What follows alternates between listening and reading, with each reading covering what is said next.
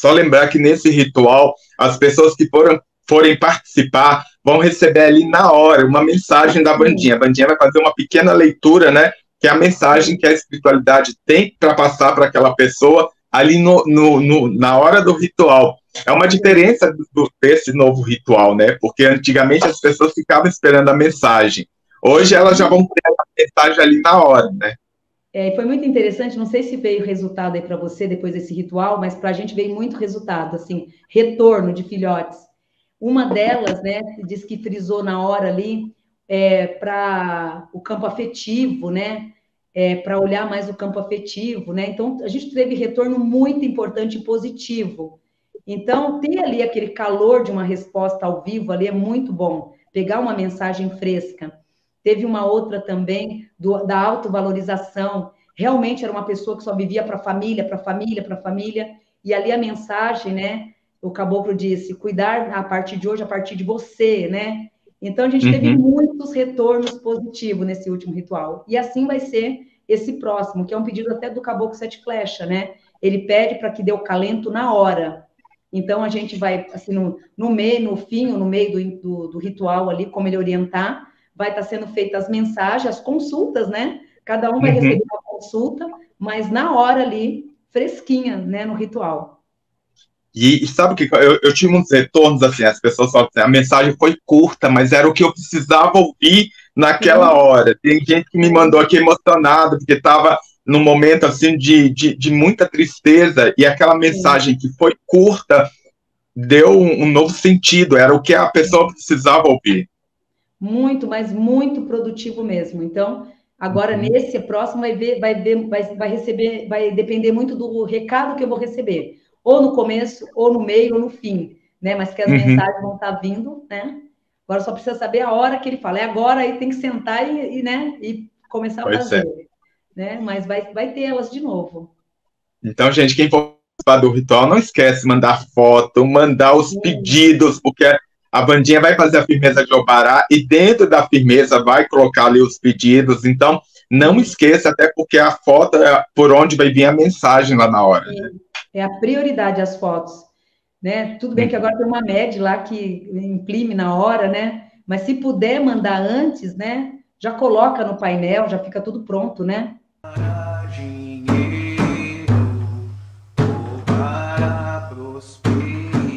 Aonde Obará nesse dia vai estar ali complementando, alinhando os nossos caminhos financeiros.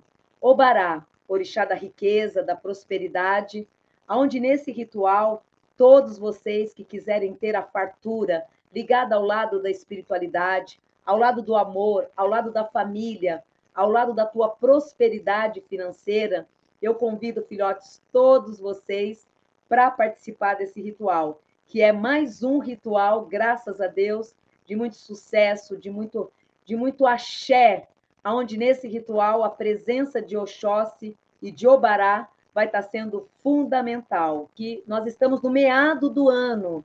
Ai, mas o começo do ano não fiz nada, nada aconteceu. Opa, nós temos o segundo semestre, que é o semestre que é onde vibra Oxóssi, vibra Obará. O segundo semestre ele já é literalmente ligado não só às forças ancestrais, como também aos grandes caminhos.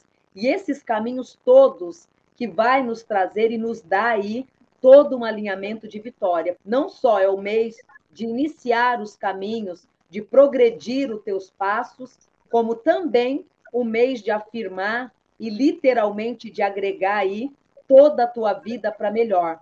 Que Obará dê a esses filhos toda a prosperidade, meu Pai. Obará, o foco dele maior é na linha da prosperidade. Onde Obará, ele abre caminhos, ajuda a concretizar compra de carro, compra de imóvel, prosperidade na empresa, investimento, é tudo relacionado à matéria. Fora Exu, que é a prioridade, que é o caminho, Obará ele entra como segundo regente dessa força primeiro lugar está Exu, que nos dá o caminho, e segundo está Obará. Ele é literalmente focado à prosperidade. Por quê? Obará ele foi um orixá que ele sofreu muito. Então ele foi muito apedrejado por muita pobreza. E depois que ele recebeu diante né, das divindades, o axé da riqueza, o foco dele é de reerguer e de transmutar, infelizmente, a vida daqueles que estão caídos. Por quê? As pessoas que estão passando por necessidades financeiras, crises emocionais, perdas financeiras, enfim, tudo baseado e relacionado ao lado financeiro, o Bará, ele é o advogado dessas causas impossíveis.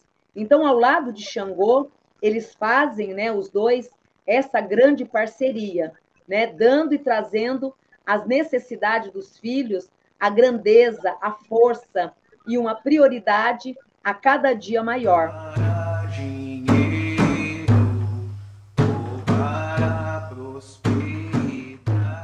Lembrando também que, lógico, mames, vai ter fogueira? Tem que ter fogueira. Uma boa feiticeira tem que ter o fogo ao lado dela, né?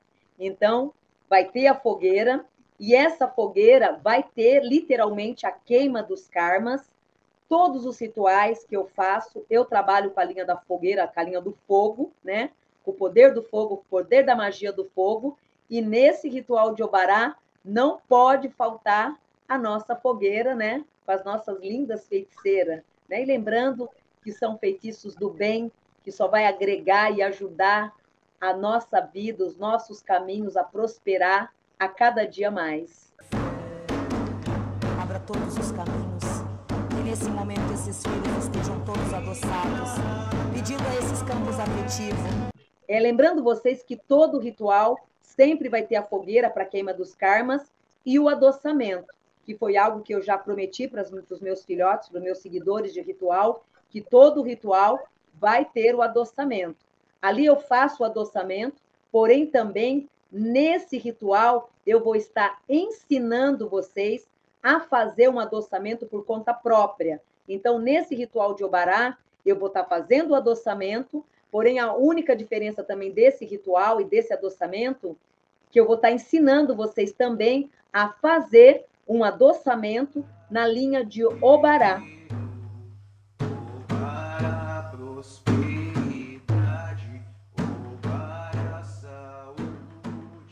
também nesse ritual, assim como o que passou nesse, as mensagens não vai ser mais gravadas, né? A não ser para aqueles filhotes que não autorizam a foto no painel. Aqueles filhotes que não autorizam a foto no painel, somente eles vão estar tá recebendo uma mensagem por áudio. Os demais que autorizaram, né, que autorizar a foto no painel, vai estar tá sendo feita uma leitura ali na hora, perante a vidência, uma leitura rápida, né, da vida de cada um, né, um por um, mandado ao vivo para vocês. Lembrando que aqueles que não autorizaram serão os únicos que serão mandados por áudio. Os demais serão falados ali ao vivo durante o ritual. Abençoe todos nós. Abençoe todos esses filhos que aqui estão nesta corrente de hoje.